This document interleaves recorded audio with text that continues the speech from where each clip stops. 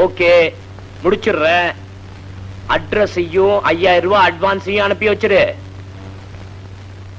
யோ பாக்கி பணத்தை காரியம் முடிச்ச பிறகு பாத்துக்கலாம்யா. என்னது போட்டோ அனுப்புறியா? ஓகே போட்டோ அனுப்பிச்சா போதும். ஓகே. யார் ஏ பயில்வான் அடுத்த செவ்வாய்க்கிழமை நமக்கு என்னடா ப்ரோக்ராம் அடுத்த செவ்வாய்க்கிழமை. இந்த ஆளை கொலை பண்ற மாஸ்டர். அவனோட அட்ரஸ் நம்பர் எட்டு கோகலங்காலி மெட்ராஸ் எண்பத்தாறு. அட்வான்ஸும் மீதி பணமும் கூட வந்தாச்சு.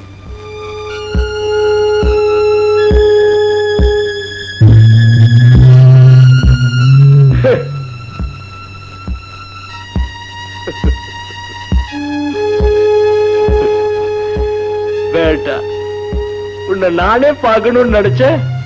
நீயே வந்துட்டியா? உன்னை நான் கொல்ல போறது. உனக்கு தெரியுமா? தெரியும் சார் அடுத்த செவ்வாய்க்கிழமை நைட் எட்டு மணிக்கு நீங்க என்ன கொல்ல போறீங்க. பரவாயில்லையே. உனக்கு விஷயம் தெரிஞ்சு போச்சா? யாரு சொன்னது?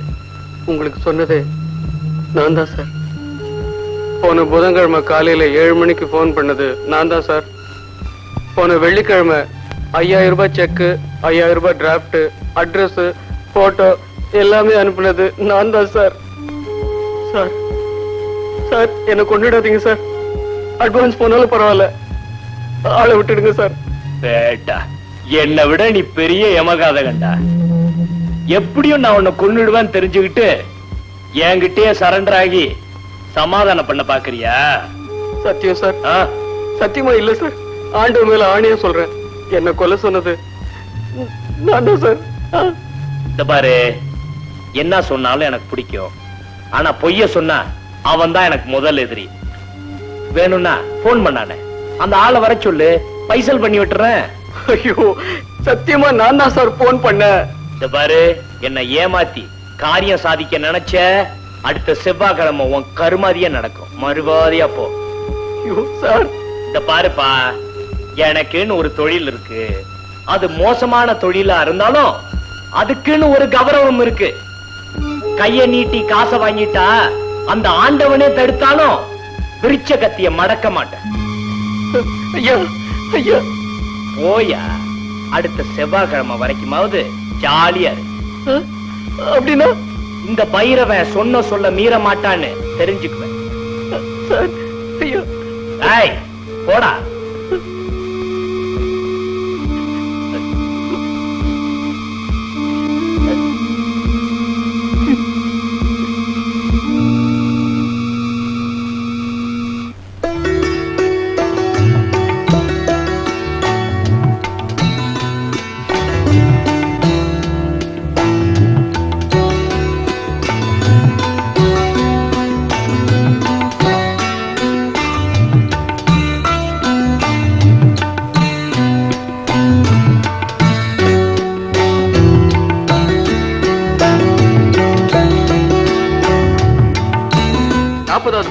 பால் சாப்பிடறதுக்கு முன்னாடி என்ன செய்யணும்னு எழுதியிருக்கான் அதை முதல்ல படிச்சுட்டு வரேன்.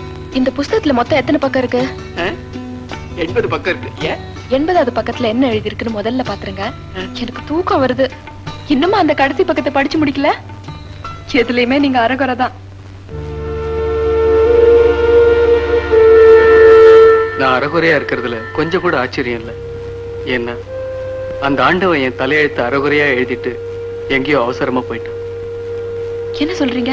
கொஞ்சம் விளக்கமா சொல்லுங்க. ராதா நீ என்னை தனியா விட்டுட்டு கோச்சிட்டு போயிட்ட. கோச்சிட்டு போன உடனே நான் ஏன் இந்த உலகத்துல தனியா வாழணும்னு யோசிச்சு பார்த்தேன்? அப்ப எனக்கு ஒரு ஐடியா வந்தது. நேரா பைரவங்கிட்ட போனேன். பத்தாயிரம் ரூபாய் கொடுத்து என்னை கொலை பண்ணிடுன்னு சொன்னேன். சரின்னு சொல்லிட்டான். செவ்வாய்க்கிழமை ராத்திரி எட்டு மணிக்கு என் உயிர் போயிடும். என்னங்க? இப்படி செஞ்சிட்டீங்க? அவ யாரு? எங்க இருக்கா? நீ போனாலும் ஒண்ணும் நடக்காது ராதா. அவன் இதுவரைக்கும் சொன்னதை சொன்னபடியே செஞ்சு முடிச்சிருக்கான் அவன் அவன் நிச்சயமா என்ன கொல்லாம விட மாட்டான்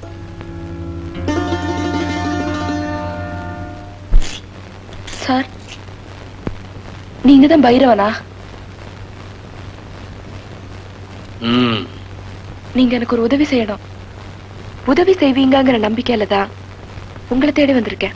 சொல்லுங்க. நான் என்ன செய்யணும்? நீங்க ஒருத்தரை கொலை செய்யணும். கொலையா? ஆமா சார். நீங்க தான் பணத்துக்கு கொலை செய்வீங்களே. அதான் உங்களை தேடி வந்திருக்கேன். என்ன சார் அப்படி பாக்குறீங்க? உண்மையை தான் சார் சொல்றேன். ஒரு பொண்ணு கல்யாணமாகி புருஷன் கிட்ட இல்லாம இருந்தா வாழ வெட்டிங்கிற பட்டம். புருஷன் இறந்துட்டா? விதவைங்கிற பட்டம் இந்த ரெண்டு பட்டமும் வாங்காம சுமங்கலியா வாழறது இந்த சமுதாயத்துல எவ்வளவு பெரிய கஷ்டம்னு என்ன மாதிரி பொண்ணுக்கு தான் சார் தெரியும்? நானும் சுமங்கலியா வாழணும்னு விரும்புறேன். அது தப்பா சார்? சொல்லுமா யார கொல்லணும்? ஒரே ஒரு ஆளை மட்டும் கொன்னா போதும். அவன் அட்ரஸ் மட்டும் சொல்லு இப்பவே அவனை தீத்துடுறேன் இந்தாங்க. என்னது? உங்க சம்பளம்.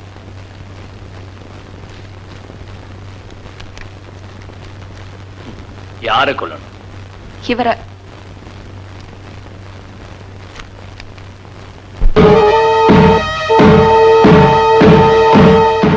அப்படியே ஷாக் ஆயிட்டீங்க? இவர் உங்களுக்கு தெரியாதா? இல்ல உங்களுக்கு சம்பளம் பத்தாதா? எவனையோ கொல்லணும்னு சொன்னதும் உங்க கத்தி துடிச்சுது. ஆனா உங்களை தான் கொல்லணும்னு சொன்னதும் உங்க ரத்தம் மட்டும் துடிக்குது. ஏன் அப்படி? உங்களுக்கு மட்டும்தான் ரத்தம் இருக்கு. இல்லையா? பத்தாயிரம் ரூபாய் தந்திருக்கேனே சார். அது உங்களுக்கு பத்தலன்னா இன்னொரு பத்தாயிரம் ரூபாய் தரேன். அடுத்தவங்க உயிருக்கு மட்டும்தான் உங்க மார்க்கெட்ல விலை. உங்க உயிருக்கு இல்ல. அப்படிதானே என்ன சார் பேச்சே காணோம்? இன்னமும் உங்க கோபம் தீரலன்னா எனக்கு இன்னொரு கண்ணமும் இருக்கு. நான் வரேன். ஒண்ணே ஒண்ணு மட்டும் சொல்றேன் சார். என் செக் பாஸ் ஆனா தான் நான் வாழ்க்கையில பாஸ் ஆக முடியும்.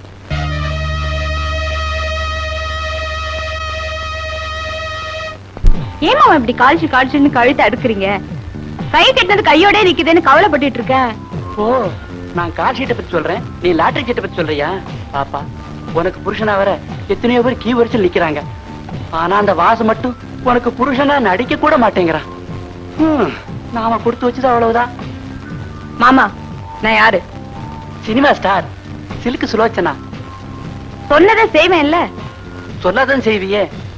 நாளைக்கு காலையில அந்த வாசு இங்க இருப்பான் எப்படி? கடத்திட்டு வர போறேன். அது எப்படி? நம்ம கிட்ட தான் ரவுடிஸ் இருக்காங்கல்ல. அப்போ நாளைக்கு அவன் இங்க வரப்போறான். கையெழுத்து போட போறான். நீ பணம் வாங்க போற. வெரி குட் நம்ம ரெண்டு பேரும் எங்கேயாவது காசி ராமேஸ்வரன் ஓடி போயிடுவோமா? எனக்கு வர்ற ஆத்திரத்துக்கு உங்களை அப்படியே கொன்னுடுவேங்கிறியா? கொல்லு. கொல்லு. தாலி கட்டின சம்சாரம் கையாலேயே ஆவிய விட்டு அப்பாவிங்கிற பேரோட நான் போய் சேர்ந்துடுறேன். மூளை இல்லாம காரியம் பண்ணது இல்லாம முட்டாள்தனமா பேச்சு வர எனக்கு என்ன வஞ்சனையா? வச்சுக்கிட்டே இல்லைன்னு சொல்றதுக்கு.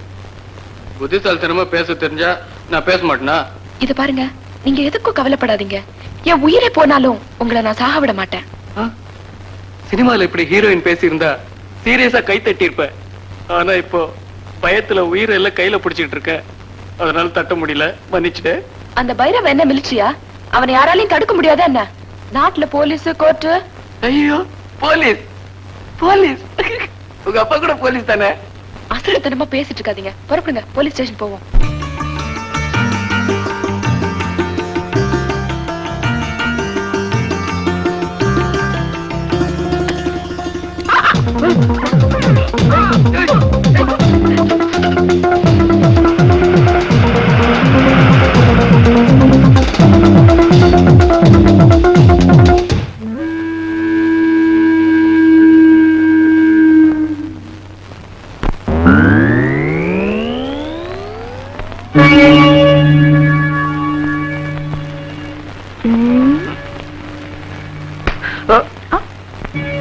கைத்தால கட்டி போட்டு மிரட்டுற இவளை போய் நான் காதல் பண்றதா கடுப்படிச்சே. இப்போ அது மரமட்டைக்கு ஏறுதா? துப்பு.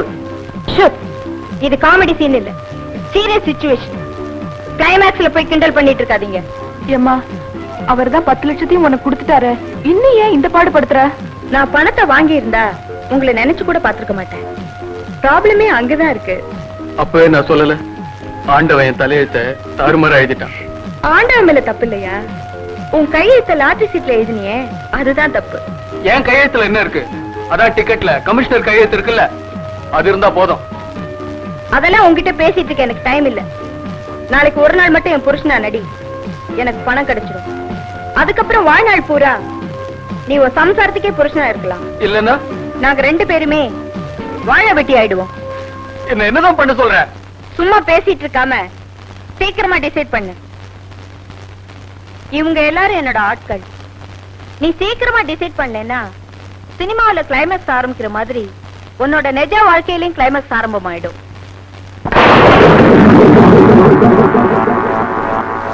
ஓய் வில்லன் இல்லாம எப்படி கிளைமேக்ஸ் முடிக்க போற?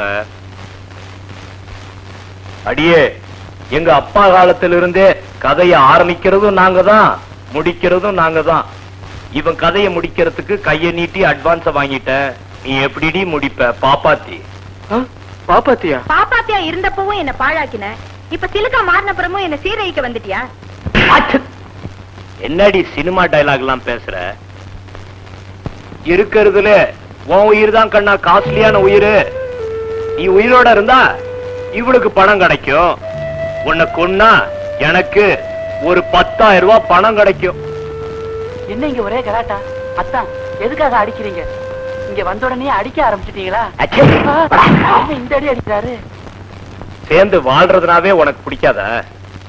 உன்னோட சேர்ந்து வாழும்போது நான் சொல்றபடி கேட்காம நீ சோரம் போன. சேர்ந்து வாழ நினைக்கிற அவங்கள ஏண்டி பிரிக்கிற? என்ன பழைய பாப்பாத்தியா நினைச்சிடாத. என் பின்னால பெரிய ஃபைமன் ஆர்மியே இருக்கு. உருப்படியா போயிடு. இல்லைன்னா அரையும் குறையுமா அனுப்பிச்சிருவேன். தோ, உன்கிட்ட இருக்கிற கொஞ்ச நஞ்ச திமிரும் நான் கொடுத்த தைரியம் தாண்டி. என்னையா நீ மிரட்டுற? டேய் பசங்களா ஏற்கனவே வாங்கினதை மறந்துட்டீங்களா?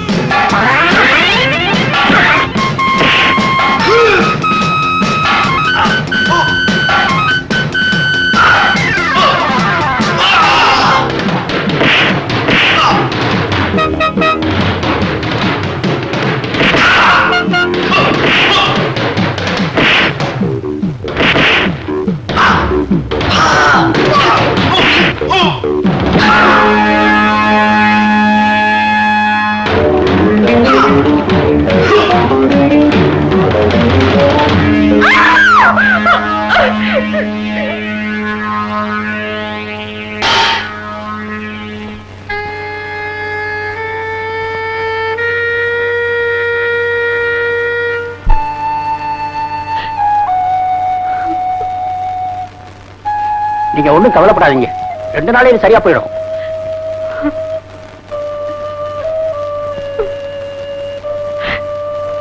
என்ன மன்னிச்சிடுங்க. நான் நிறைய தப்பு பண்ணிட்டேன். நீங்க நல்லா இருந்தா எனக்கு அதுவே போதும். ஏதோ சினிமா ஆசையில நீ தப்பு பண்ணிட்ட. நானும் பணத்தாசையில தப்பு பண்ணிட்டேன் நாம ரெண்டு பேரும் பண்ண தப்புக்கு பரிகாரமா அவங்க ரெண்டு பேரையும் சேர்த்து வச்சிருவோம். அப்பா இனி நமக்கு எந்த கவலையும் இல்ல. நம்ம சந்தோஷத்துக்கு குறுக்க இருந்த கவலையெல்லாம் நீங்கிடுச்சு. இப்ப நேரா உங்க அப்பா கிட்ட போவோம். முதல்ல முதல் இரவு எப்போன்னு கேட்போம். சம்பந்தி இப்படித்தான் பாருங்க. எங்க சாந்தி முகூர்த்தம் நடந்த போது ஐயோ ஏங்க இப்ப இதெல்லாம்? அட சும்மாரி நான் எங்க அண்ணன் பொண்ணு சாந்தியோட முகூர்த்தத்தை பத்தி சொல்லிக்கிட்டு இருக்கேன்டி. ஆமா சம்பந்தி உங்களுக்கு ஒரு தம்பி இருந்தாரு. எப்படி இருக்காரு? ஆ, அவங்கற பெருங்கதைங்க. இருபத்தஞ்சு வருஷமா ஒரு பொண்ணையே உயிருக்கு உயிரா காதலிச்சுக்கிட்டு இருந்தான். இப்ப தினம் அவளை நினைச்சு கண்ணீர் விட்டுக்கிட்டு இருக்கான். ஏன்? அவர் காதல் தோல்வியில முடிஞ்சுடுச்சா இல்லைங்க கல்யாணத்துல முடிஞ்சிருச்சு. ஆமா என்ன இப்போ? பையனும் மருமகளும் உங்க கலா கலட்சணத்தை கேட்கறதுக்கு இதுவா நேரம்? அடடே ஆமா மறந்தே போயிட்டேன். அப்பா வாசு சீக்கிரமா போப்பா. நான் பாட்டில ஓபன் பண்ணணும். வேண்டாங்க. அப்புறம் பினாயிலு ஆஸ்பத்திரி குண்டை இதெல்லாம் தேவையா? பேசாம கூட உட்காந்துக்கணும் தெரியுதா? வாமா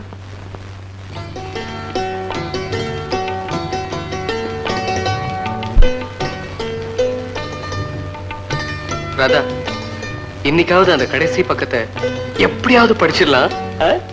என்ன சொல்ற? முதல்ல கையெடுங்க. கதவு முடுங்க.